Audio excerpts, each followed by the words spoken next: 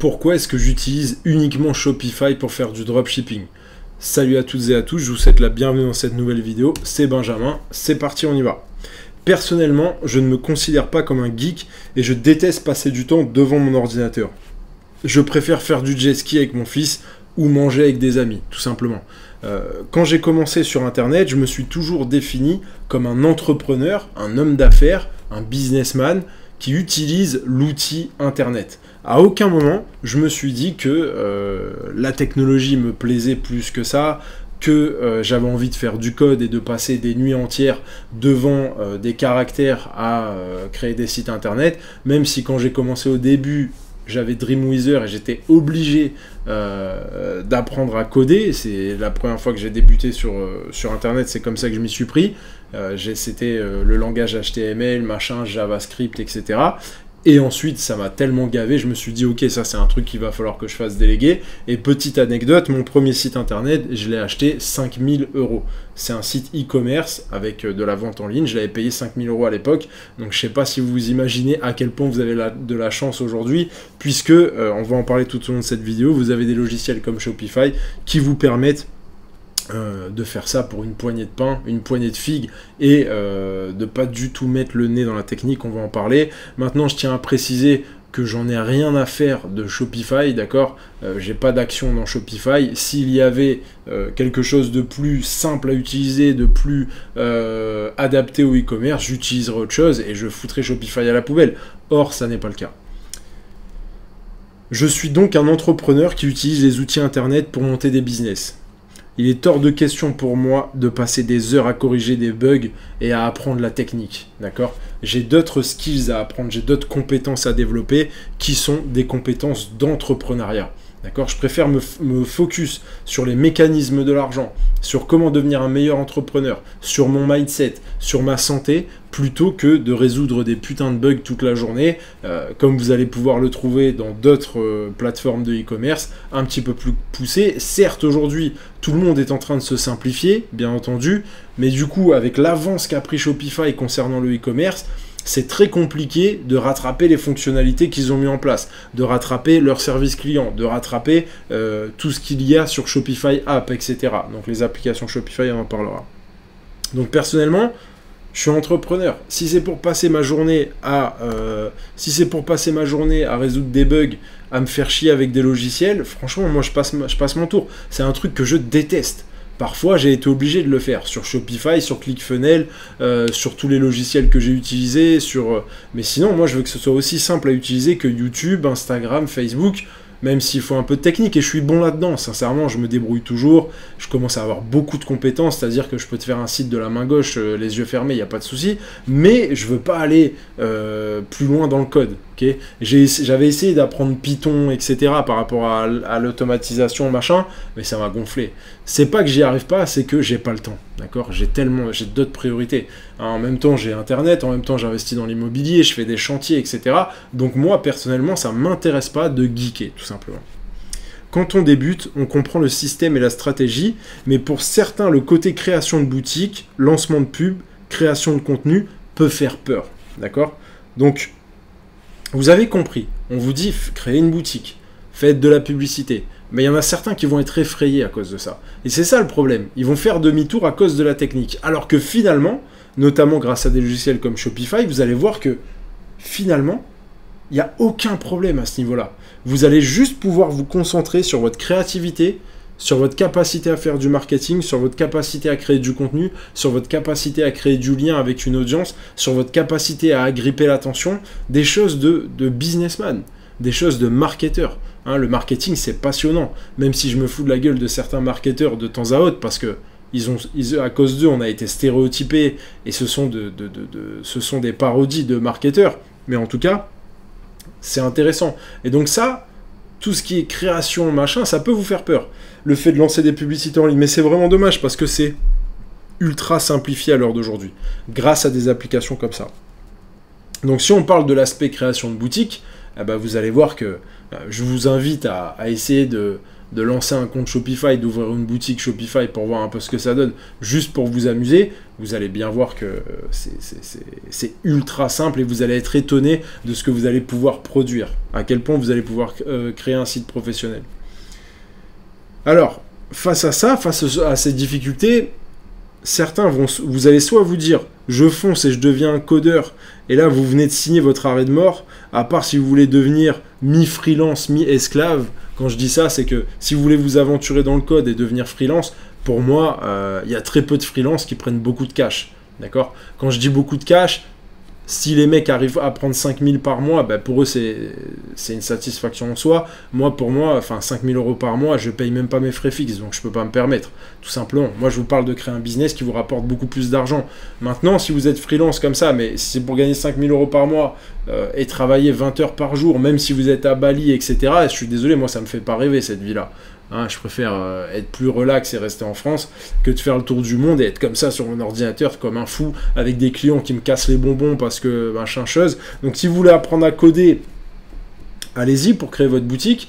Euh, mais j'espère que vous avez 6 euh, mois, 1 an devant vous à passer votre vie devant un ordinateur avec le code pour les nuls, etc. etc., etc. Même si aujourd'hui ça a été simplifié, je le sais, mais le but du jeu, c'est de devenir un homme d'affaires, d'avoir son business en ligne.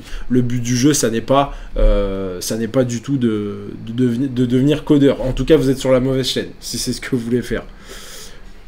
Autre chose, si vous, soit euh, vous allez vouloir devenir codeur, soit vous recherchez des prestataires qui vont vous faire tourner en bourrique et vous laisser en slip. Alors, j'en vois qui se disent, bon, c'est trop compliqué pour moi, soit j'apprends, je me mets à fond, soit je prends des prestataires. Donc là, vous allez prendre des freelances et vous allez vous faire prendre pour des cons parce qu'on va vous prendre 500 euros pour changer la couleur d'un bouton. On va vous prendre, euh, vous allez recevoir des devis à 10 000 euros pour une boutique e-commerce avec 20 produits qui se battent en duel que vous auriez pu faire si vous aviez envie de comprendre que c'était facile et si vous aviez envie de vous former un minimum, vous auriez pu faire ça en une semaine. Tu vois, par exemple, quand on me dit, nous on vend des formations pour accompagner les gens à créer leur boutique e-commerce, à faire de la publicité, trouver des produits, des clients, faire du sourcing, on vend des formations à un prix qui est dérisoire par rapport au fait de payer un freelance, tu vas même pas savoir ce qui s'est passé, et dès que tu vas vouloir faire une petite modif, le mec va te prendre 200 euros. Voilà, tout simplement. Maintenant, tu vas avoir des mecs qui vont facturer des sites à 1000 euros, d'accord À 1000 balles, mais voilà la gueule du site. Après, c'est à toi de voir. Alors que tu peux le faire largement par tes propres moyens. Euh, c'est vraiment accessible à tous. Il faut vraiment être un bras cassé. À la limite, si tu arrives à créer un compte Instagram, publier une photo, regarder une vidéo YouTube, c'est que pour moi, euh, tu es largement, largement, très largement capable de créer ton site e-commerce sur euh, Shopify.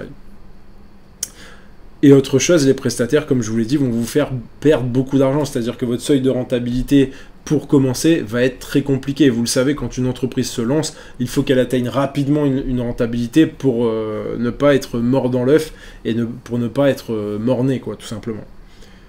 Comprenez bien une chose, ce qui fait le succès d'un entrepreneur en ligne est certainement pas ses capacités techniques c'est pas du tout à quel point tu maîtrises, euh, tu maîtrises euh, la création de site internet. C'est pas du tout à quel point euh, tu maîtrises le code. C'est pas du tout à quel point tu es un bon graphiste. C'est pas du tout à quel point tu maîtrises Photoshop, etc. C'est pas du tout ça qui va faire ton succès en ligne. Sinon, tous les ingénieurs seraient millionnaires. Voilà. voilà. Je dis ça, je dis rien. Excusez-moi, mais il y a beaucoup de mecs qui sont ingénieurs euh, t'as beaucoup d'ingénieurs qui gagnent quoi? 3000 balles par mois 4000 balles par mois 5000 balles par mois Après, t'as les vedettes, t'as les stars. T'as les stars qui prennent des millions et des millions. Mais je te parle des développeurs euh, d'un ingénieur euh, classique. Le mec prend pas d'argent. Pourtant, il a des capacités, il fait des trucs sur l'ordi, machin. Aujourd'hui, il y a tellement de gens qui sont devenus ingénieurs, etc ça dépend des domaines. Hein, voilà, ingénieur béton, à la limite, il va bien gagner sa vie au bout de quelques temps parce que c'est toujours nécessaire. Mais voilà, tout ça, je veux dire, à ce moment-là, si, si la technique était importante, si être une super tronche, ça rapportait beaucoup d'argent, tous les ingénieurs seraient millionnaires. Or, c'est pas le cas du tout. Moi, l'image que j'ai des ingénieurs, c'est des mecs qui vivent simplement, et ça, c'est très bien. Mais euh, voilà, c'est les mecs en Dacia euh, ou qui sont en vélo, en, claquette toute la journée, ou pieds nus, tu vois, dans le bureau, tout simplement. J'exagère, je chambre un petit peu. Euh, mais en tout cas, je vois pas des multimillionnaires dans ce cas-là. Par contre, il y a juste, c'est une parenthèse, je connais beaucoup d'amis à moi qui sont de très gros entrepreneurs qui ont bien réussi leur vie et qui, ont un, qui étaient ingénieurs. Donc ils avaient une base, ils ont un cerveau d'ingénieur très cartésien, très des mecs qui calculent tout à une vitesse hors norme. Voilà, des têtes, et, ça, ça sert, qui ont énormément de bon sens, qui ont lancé des business et qui du coup euh, là, par contre, un ingénieur qui lance un business, qui accepte d'être entrepreneur, mais souvent la plupart, ils n'aiment pas ce risque-là d'avoir son propre business. Mais les mecs qui lancent, bah, ils sont tellement organisés, tellement intelligents finalement, hein, euh, c'est des tronches. Euh, qu'ils y arrivent, ils y arrivent super bien. D'ailleurs, vous avez Bernard Arnault, qui est un des hommes les plus riches du monde, qui était polytechnicien. Voilà, donc ça veut rien dire, mais il faut accepter de devenir entrepreneur. Nous, ce que nous voulons faire, c'est nous concentrer sur les choses importantes, à savoir l'exécution d'idées, la vente en ligne, la création de liens avec ses clients, etc. etc.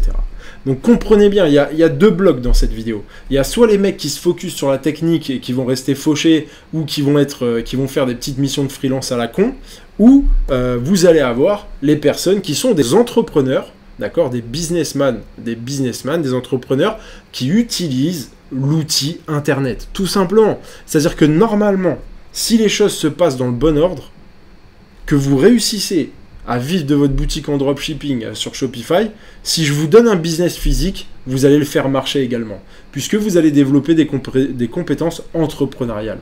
D'accord? Vous n'allez pas être un simple prestataire, un simple, une simple personne qui fait de la technique, qui est très bon technicien, mais qui ne comprend rien au business, tout simplement. C'est pas ce que je vous souhaite. En tout cas, c'est pas pour ça que vous êtes sur cette vidéo.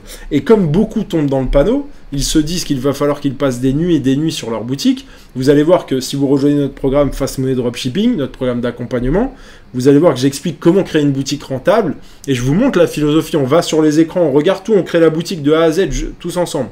Mais je vous montre ce qui est important et je vous dis là, perdez pas de temps. Ne perdez pas de temps sur ce genre de choses. Donc il y a des choses qui sont utiles pour un entrepreneur et vous allez pouvoir faire votre site internet vous-même. Donc vous allez déjà gagner un gros billet. Nous avons donc besoin, quelle est la solution? Nous avons besoin d'un logiciel qui nous permet de zapper toute la partie technique et qui laisse place à notre créativité. Il faut que la création de votre boutique soit un jeu d'enfant. Eh bien c'est le cas avec Shopify essayez. Je vous dis pas ça pour pousser Shopify, je vous le garantis. Euh, je vous mettrai un lien si vous voulez profiter de 3 mois offerts à 1 euro par mois ou je sais plus. Bref, regardez, il y a une offre euh, avec le lien ci-dessous qui est dans la description ci-dessous. Euh, voilà, je vais prendre, je sais pas, si vous inscrivez, je vais prendre 2 euros, 5 dollars, j'en sais rien vraiment je le fais symboliquement parce que je vais pas cracher sur de l'argent alors que c'est moi qui vous ai parlé de Shopify. Mais si demain c'est de la merde Shopify bah, qu'il faut aller euh, faut, faut, expliquer que bah, j'expliquerai ce qui est le plus utile pour vous. D'accord? Tout simplement donc il faut que ce soit un jeu d'enfant. Pourquoi? Parce qu'il ne faut pas que ça vous prenne le chou, il ne faut pas que ça vous prenne la tête. Vous devez absolument vous vous concentrer sur les choses importantes. Parce que vous allez perdre du temps sinon sur la création, mais vous allez être nul en marketing, nul en communication, nul en publicité, alors que c'est bel et bien ce qui nous intéresse. C'est exactement pour ça que j'ai toujours utilisé Shopify pour la création de mes boutiques en dropshipping. C'est simple, rapide et puissant.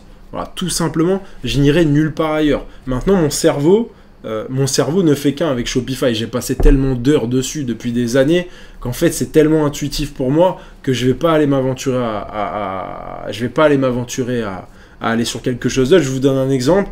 J'ai ma femme qui a des trucs sur WordPress, donc des fois, je dois lui faire des modifs, ça me lourde dès qu'il y a des mises à jour sur des plugins, etc. Je dis pas que c'est pas puissant, que c'est pas mais à l'utilisation, franchement, c'est chiant, quoi. Donc à la fin, ce que je lui ai dit, je lui ai dit de prendre une nana qui s'occupe de son WordPress. Sauf que le truc, c'est que dès qu'elle doit changer quelque chose, elle doit changer un titre. Euh, l'autre fois, qu'est-ce qu'il y avait? Il y avait sa mailbox qui apparaissait plus. Bref, tu sais pas pourquoi, parce qu'il y a une mise à jour de plugin, etc.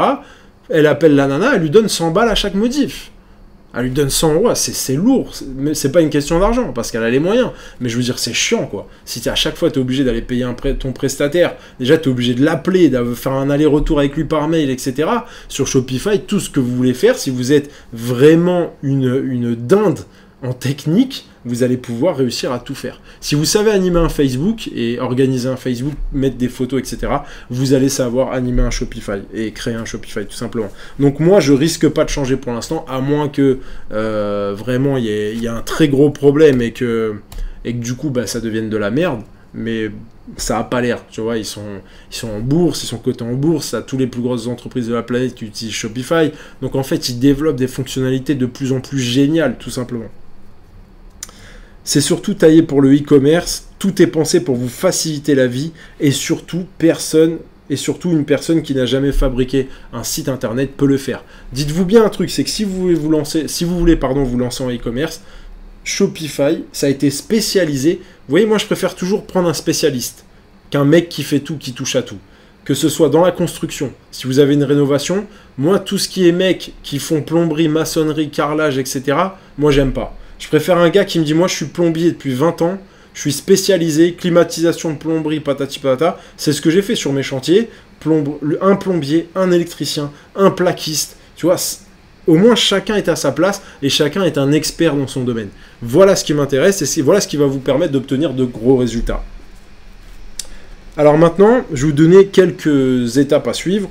Je vous conseille d'essayer de monter votre première boutique dès maintenant pour voir ce que ça donne. Je vous ai mis un lien dans la description. Euh, c'est 3 mois à 1 euro. Si vous ne pouvez pas sortir 3 euros pour tester un truc pendant 3 mois, c'est que vous n'êtes pas vraiment impliqué dans le projet. Si vous avez rien à foutre du dropshipping, du e-commerce, je peux très bien comprendre. Mais maintenant, si vraiment vous êtes chaud et que vous avez envie, vous pouvez le faire tout simplement. Donc allez-y, cliquez sur le lien, vous regardez, vous créez votre petite boutique juste par curiosité. Ça vous engage en rien. Je vous dis pas d'essayer de trouver votre niche. Je vous dis pas de comment. Juste faites un petit pas, un tout premier pas. D'accord? Un petit pas qui peut-être engendrera un autre pas, etc. Et peut-être qui vous fera créer une boutique rentable d'ici quelques mois.